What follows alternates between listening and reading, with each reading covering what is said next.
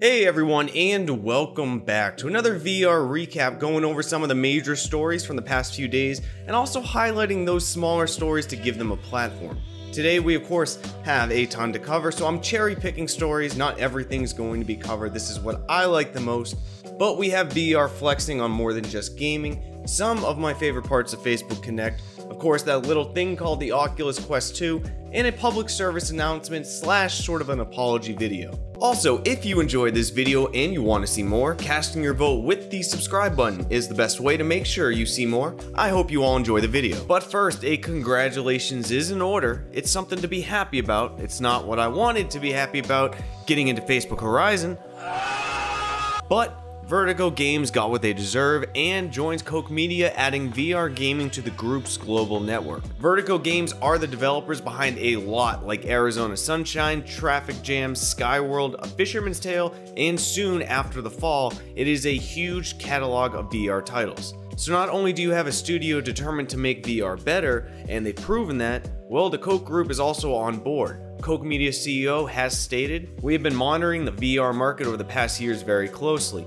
We feel that now is the right time to extend our group activities into this amazing and fast growing sector. I am sure that we are only at the beginning of the technological development of VR and what it offers players around the globe. We are delighted that with the acquisition of Vertigo Games, leading VR experts are joining our group. Together, we will push the boundaries of VR gaming even further, combining our strong global development and publishing network with their specialized VR games expertise. Having one of the best dedicated VR studios out there, partnered with the huge global network by a believer in VR's potential, well, that makes me happy. That was exciting to see, and Vertigo Gaming, this should get more attention for this, and can't wait to see what they come up with next. And of course, we need to go over the Oculus Quest 2 and everything Facebook Connect, but two quick clarifiers for this. I'm not going over it all, that's way too much information. Instead, I'm focusing on the ones that interested me, that made me happy the most, that I want to talk about, I'm very curious though to hear what your favorite things were down in the comments. Point number two, something I'm very excited about. I cannot be happier that my leaks were confirmed to be true because I already had night sweats of a YouTuber apology video coming. Crisis averted that felt good. Here are some of my favorite Facebook Connect items in mostly the order they came up. So AR glasses I think potentially could be larger than VR one day, at least in everyday use, but why I was so skeptical of Apple actually releasing something this year is the tech just doesn't seem as consumer ready as I think many want it to be, something Facebook seems to be very aware of. A stepping stone though may be a great idea and I would love to get my Blues Brothers on with some Ray-Ban smart glasses, looking fly and putting test answers right in my view at the same time. It's early for this, but I was immediately hooked and greatly appreciated the talks of privacy and understanding the dangers of new technologies whether they follow through is a different question, but I appreciate the words. While I want to acknowledge this, I'm not happy about this at all, but it's still with a sad heart that the Rift line is definitely in the grave and will be fully buried in 2021. But Facebook seems to be doubling down on the Oculus Link with the Oculus Quest 2, and with 90Hz link support coming, I can't think of any reason to advocate to even pick up a second-hand Oculus Rift S. However, a question that I saw thrown around a lot after Facebook Connect, what is PCVR's future? I'm interested in seeing if any PCVR titles in the caliber of say Half-Life Alyx or Boneworks, something large, are in the works right now, or if compatibility with the Oculus Quest line, both 1 and 2, with the Link, will slow down PCVR solo juggernaut titles that need to balance it between multiple headsets. I don't know the answer to this. It's really just a big question of mine, and I'm very interested, being a PCVR player mostly, what are your thoughts on the state of PCVR? But the games, right? The chicken or the egg debate, what's good hardware without some good games to play? And while tons were announced, here are just three of my most anticipated titles, things that interest me. Let me know yours and why down in the comments. Of course, Medal of Honor. You all knew this would be on my list, not only because it's multiplayer, which I love, but I have that sweet spot for that childhood love of that Call of Duty on the PS2, the D-Day level. It was amazing. It is fantastic though. The number one thing that I'm happy about Medal of Honor is to see it crossplay and actually on Steam VR as well, which I think keeps this game alive. Without Steam crossplay combined with Facebook requirement hate, no crossplay would have been lower player counts than acceptable, which for multiplayer games is death. This was a great move. And while it came out on Twitter, of course I have to mention Population 1.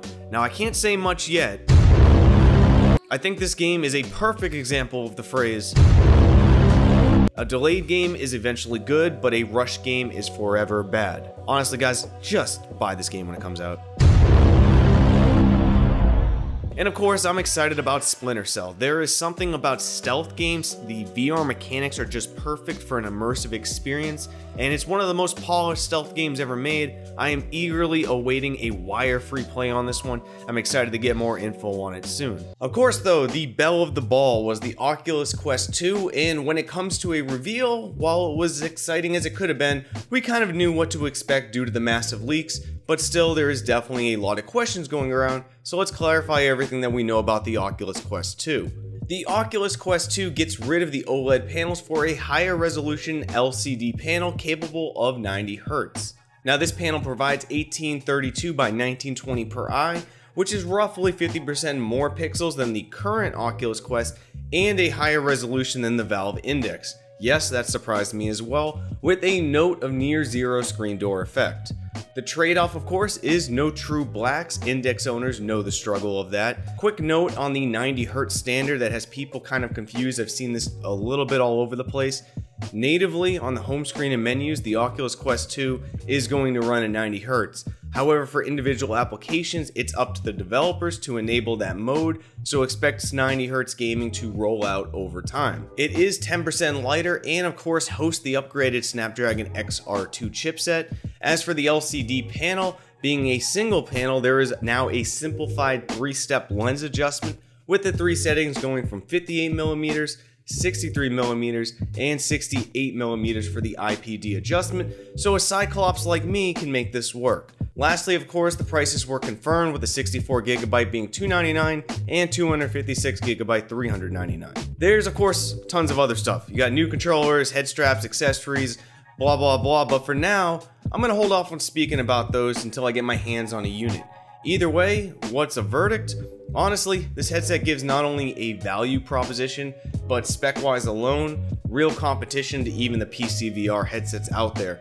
At this point, but Facebook is going to be the new VR is dying, and the Facebook requirements are probably the only deciding factor of if this is worth it, because other than that, it's a big yes. But let me hear your thoughts on the Oculus Quest 2 down in the comments below. And before the public service announcement, let's talk about one of my favorite things to see, VR used for more than just gaming, and two highlights from Facebook Connect. This is the new Infinite Office coming to the Oculus Quest 2, a collection of work-focused features perfect for creating your own virtual workspaces. Using this, you can make your own digital office with numerous virtual monitors, you have the ability to snap them to real-world objects to enhance that experience, and eventually with Logitech partnerships, you could even be typing on a real keyboard while fully in the headset.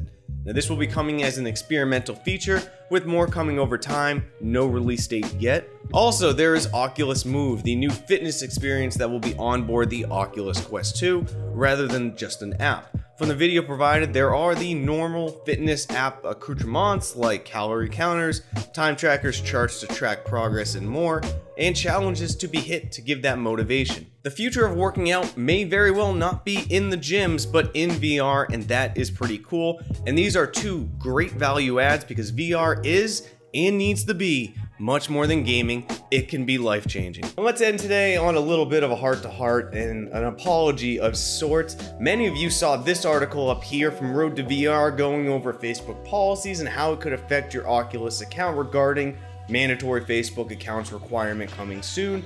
And many of you also saw this video of me making a fake Facebook account and seeing if we could get away with it. And we got a level here. Come on close, bring it in. I got a bad word coming.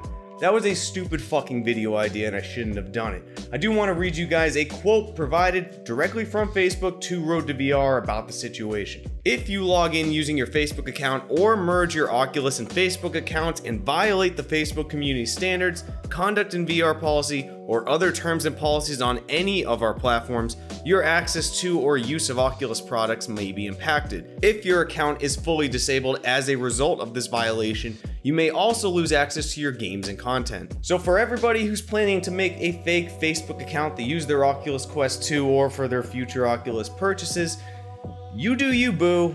but I was an idiot. I shouldn't have done that video, and you should not risk your Oculus account and all your purchases and everything making a fake Facebook account. With Facebook policies ever changing, future code of conducts changing for VR on Facebook platforms and all these other things, what may be safe now may not be safe later, and you are at risk of losing everything if you're trying to dodge the system one way or another. My segment on making a fake Facebook account was a very dumb idea. I apologize about that. It is not something I recommend, in that video completely disregard that junk. But that is to be it for today's video. If you enjoyed it, leave a like. It means a lot to me. Make sure to subscribe and hit that bell icon. That way you never miss an upload. And as always, we'll see you next time, Space Cowboys.